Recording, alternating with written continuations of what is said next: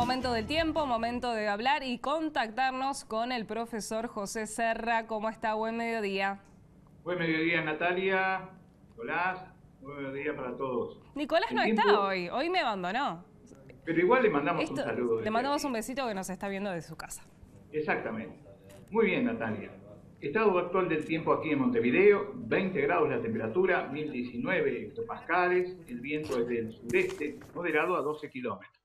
¿Cómo seguirá el tiempo? Bueno, si bien ayer tuvimos algo que apareció, una formación de nubosidad que dio algunas precipitaciones alrededor de las 20 horas, esta situación puede volver a repetirse en esta jornada.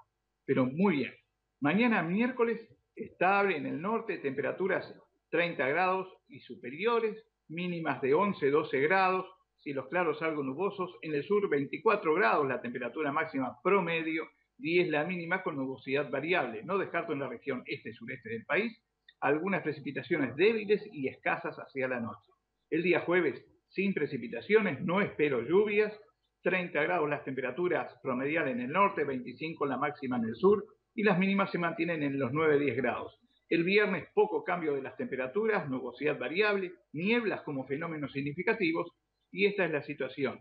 El niño está instalado y las precipitaciones prácticamente escasas en todo el país. Natalia. Muy bien, profesor. Muchísimas gracias por esta información. Igual le agrego que ayer llovió un ratito, ¿eh? Sí, sí, tuvimos unas precipitaciones.